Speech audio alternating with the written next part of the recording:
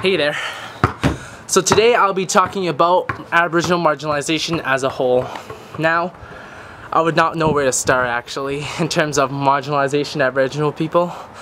There's the Indian Act, decolonization that happened, the reserves that they were forced to live in, or maybe I should talk about the schools that they were basically forced to go against their will so as you can basically see, the Aboriginal people have faced a ton of discrimination and racial prejudice. Now I believe that people today are too quick to judge the First Nations believing the stereotype that they are worthless, non-tax paying, welfare collecting junkies. Now just take a moment and imagine. If your community was invaded by foreigners who pretended to be your friends but later decided to stab you in the back, tricking you into giving up your land believing you would gain benefits, kidnapping your children and sending them to schools where they would be brainwashed, how would you and your people be affected by this? Certainly negative, I would assume.